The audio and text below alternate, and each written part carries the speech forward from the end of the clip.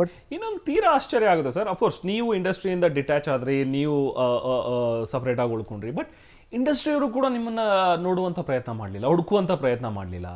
ಎಷ್ಟೋ ಸಿನಿಮಾಗಳಲ್ಲಿ ನಾವು ನೋಡ್ತೀವಿ ಕೆಲವೊಂದಷ್ಟು ಪಾತ್ರಗಳನ್ನ. ನೋ ಅಭಿಜಿತ್ ಅವರಂಥ ಒಬ್ಬ ಒಳ್ಳೆ ನಟರು ನಮ್ಮ ಇಂಡಸ್ಟ್ರಿಯಲ್ಲಿ ಇದ್ದಾಗಲೂ ನಾವೆಲ್ಲೋ ಕೆಲವೊಂದು ಡೈರೆಕ್ಟರ್ ಜೊತೆಗೆ ಮಾತಾಡುವಾಗ ಹೇಳ್ತಾರೆ ರೆಮಾನ್ ಪೋಷಕ ಪಾತ್ರಗಳಿಗೆ ನಮಗೆ ಸಿಗೋದಿಲ್ಲ ಆಕ್ಟರ್ಗಳೇ ಸಿಗೋದಿಲ್ಲ ಅಂತ ಹೇಳ್ತಾರೆ. ಬಟ್ ಇರೋರನ್ನ ನಾವು ಬಳಸ್ಕೊಳ್ತಾ ಇಲ್ಲ. ಎಲ್ಲೋ ಒಂದು ಕಡೆ ಇಂಡಸ್ಟ್ರಿನೂ ಹುಡುಕ್ಲಿಲ್ವಾ? ಯಾಕೆ ಅಂತ ಹೇಳಿ. ಅದಕ್ಕೆ ಇಂಡಸ್ಟ್ರಿನೇ ಹೇಳಬೇಕು ರೇಮನ್ ಏನಂದರೆ ನಾನು ಅದೇ ಹೇಳ್ತಾನೆ ಯಾರು ಬ್ಲೇಮ್ ಮಾಡೋಕ್ಕೆ ಇಷ್ಟಪಡಲ್ಲ. ಬಟ್ ನಾನು ಅನ್ಕೊಂಡೆ ಕರೀತಾರೆ ಕರಿಬಹುದು ಬರ್ಬೋದು ಆಫರ್ ನನಗೆ. ಇವತ್ತಲ್ಲ ನಾಳೆ ಬರ್ಬೋದು ಒಳ್ಳೆ ಪಾತ್ರ ಬರ್ಬೋದು ನನಗೆ ಕರೀತಾರೆ ಅಂತ. ಬಟ್ ಬರಲಿಲ್ಲ ಯಾವುದು ಆಫರೇ ಬರಲಿಲ್ಲ ನನಗೆ ಎಲ್ಲೂ ಗೊತ್ತಿಲ್ಲ. ದಿನಕ್ಕೆ ದಿನಕ್ಕೆ ಅದೇ ಹೇಳ್ತಿಲ್ಲ ಇಷ್ಟು ಗ್ಯಾಪ್ ಬರ್ತಾ ಬರ್ತಾ ದೊಡ್ಡದಾಗ್ತಾ ಹೋಗುತ್ತಂತೆ ಕರೆಕ್ಟ್ ಕರೆಕ್ಟ್ ಆಮೇಲೆ ಈ ಗ್ಯಾಪ್ ದಾಟೋದು ಕಷ್ಟ ಆಗ್ಬಿಡುತ್ತೆ. ಹಾಗಾಗಿ ನಾನೇನಾಯಿತು ಇವತ್ತು ನಾಳೆ ಇವತ್ತು ನಾಳೆ ಇವತ್ತು ನಾಳೆ ಅಂತಲೇ ನಾನು ಮರ್ತೇ ಬಿಟ್ರು ನನ್ನ.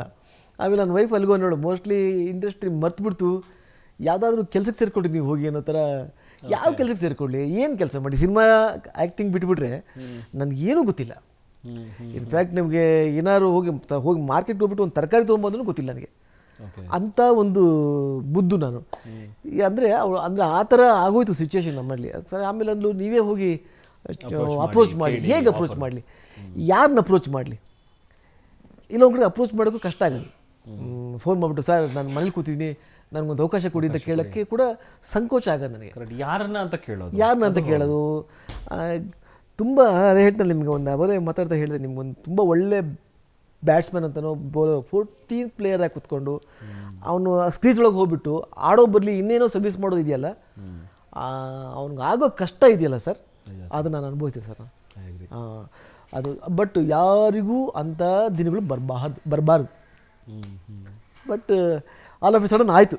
ಓಕೆ ಸರ್ ಯಾವುದಾದ್ರೂ ಸಣ್ಣ ಪುಟ್ಟ ರೋಲ್ಗಳು ಅಥವಾ ಮನ್ಸಿಗೆ ಇಷ್ಟ ಆಗದೆ ಇರುವಂತ ರೋಲ್ಗಳು ಆ ಥರದ ಆಫರ್ ಏನಾದರೂ ಬಂದು ಬಂತು. ನೀವೇ ರಿಜೆಕ್ಟ್ ಮಾಡಿ ಹೌದು ಹೌದು ಬಂತು.